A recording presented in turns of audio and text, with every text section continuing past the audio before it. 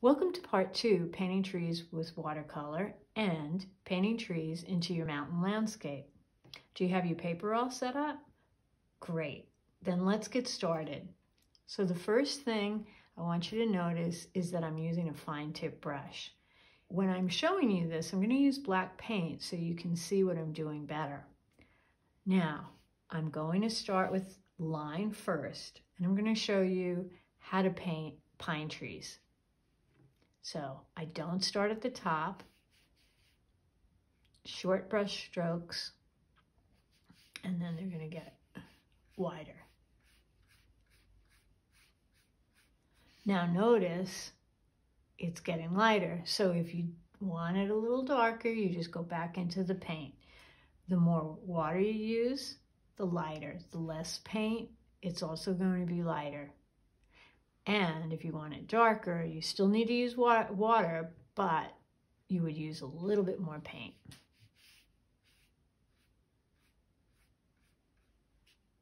Okay. Now, I'm going to show you how to paint a different type. So this is what I would do for the smaller trees. Now, if you want to do a long tree, you want to make a nice long line. And now this tree is more of a brushstroke tree. So I'm going to start at the top, still leaving a little bit of the top of that line, and then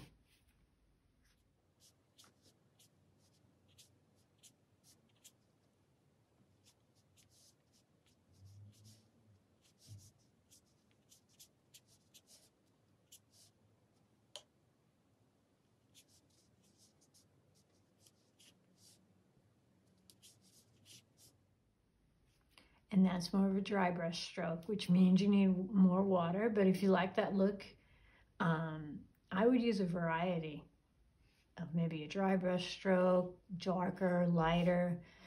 Still thinking about that idea value.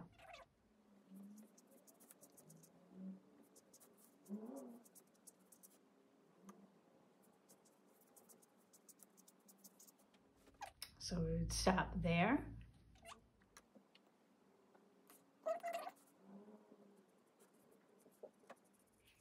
a lighter color. I could go back in and get that a little darker.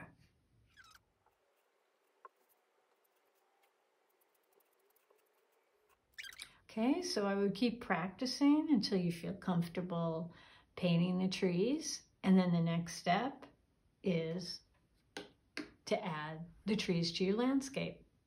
Now that you've finished practicing painting trees with watercolor, now it's time to add them to your mountain landscape. Make sure your mountain landscape is dry first. Okay, so I'm gonna wet my brush. And I, again, I'm gonna use black because I think you can see it better, but you could use whatever color you would like. So your first step, I'm gonna put the small trees in first. Test with your paper towel first. That's a little too much. So see, just a little too much paint there. Okay, now I'm ready. First step is just to draw little lines.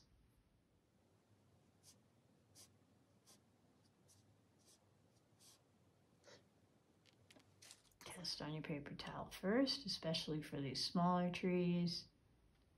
That looks good. And I'm going to start over here. Leave the top and then start. You want to start a little low. So see, you want to leave part of that line at the top and then short line. It's too much pain, I can tell. So I'm going to, okay. I'm going to use some of that. So you're going to leave some space at the top draw a shorter line, and then you're going to make each line a little wider.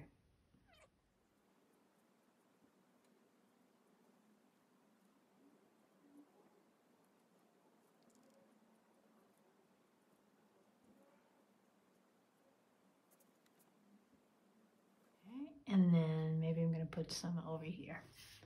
So put the lines in first.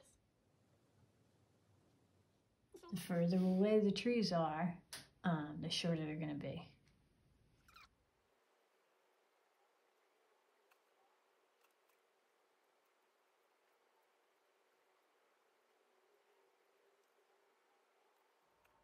Now I'm done with the smaller trees, and you might just like your mountain landscape like that.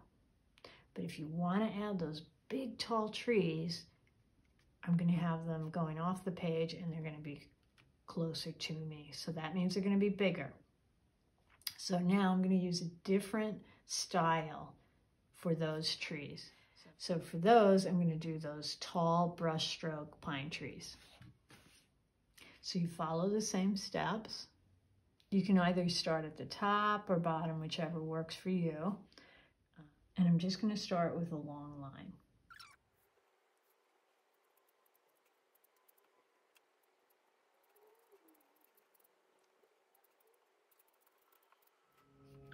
You can always experiment using a Q-tip if you need to. You know, less is more. So I'm going to stop there. So when I say less is more, once you get the tree down, maybe don't keep working on it. Stop and go to the next one. Whoops.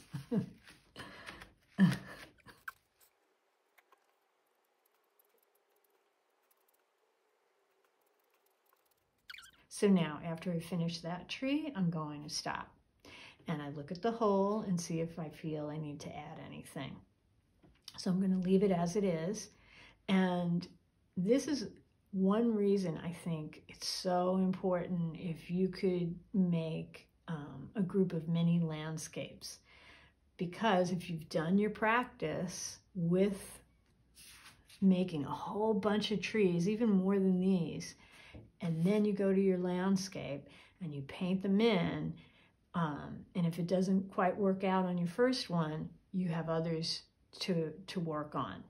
So the more you do, the better you get. Well, that's our video series on creating a mountain landscape and painting trees into your mountain landscape.